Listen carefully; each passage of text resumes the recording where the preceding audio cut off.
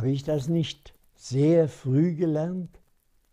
Habe ich das nicht gelernt in meinem Dorf, als ich das Wir und die anderen äh, täglich oder ja, mehr oder minder täglich vor Augen hatte? Wenn ich den äh, Polizisten traf, es war einer im Dorf, äh, musste ich Guten Tag sagen.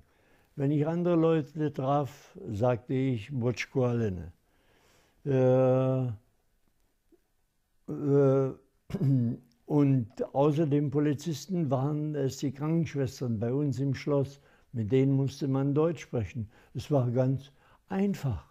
Sie äh, sprachen, äh, sie hatten eine Sprache, ich hatte eine Sprache. Und da sie meine nicht verstanden, nahm ich ihre. Und daraus ergab sich, ergab sich gar nichts. Ergab sich kein, äh, kein Gefühl einer Fremdheit.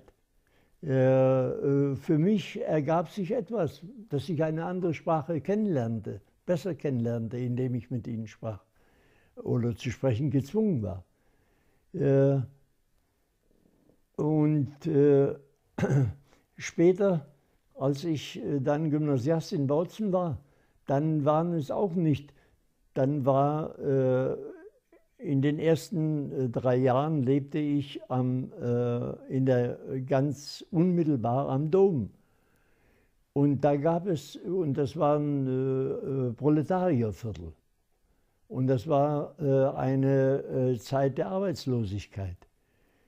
Und die Jugend war damals genauso, genauso ohne Aussicht, wie sie zum großen Teil heute ist.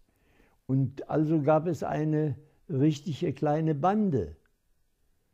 Äh, und äh, zu der Bande gehörte ich auch, ganz selbstverständlich.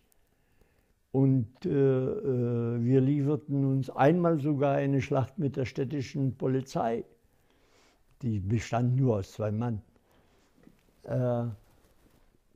aber fremd waren die einen und die anderen überhaupt nicht. Fremd war, fremd als Macht war der Polizist. Das war eins.